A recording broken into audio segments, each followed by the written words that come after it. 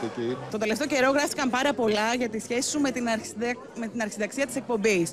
Υπόθηκε ότι θα βγαίνεις μετά από ένα τέταρτο, ότι υπήρξε μια διαφωνία σε όλο αυτό. Σε όλα τα σπίτια, γιατί εγώ τον Α τον θεωρώ και την εκπομπή δεύτερο σπίτι μου, κάποιες στιγμές μπορεί να υπάρξουν διαφωνίες. Το θέμα τελείωσε, έληξε.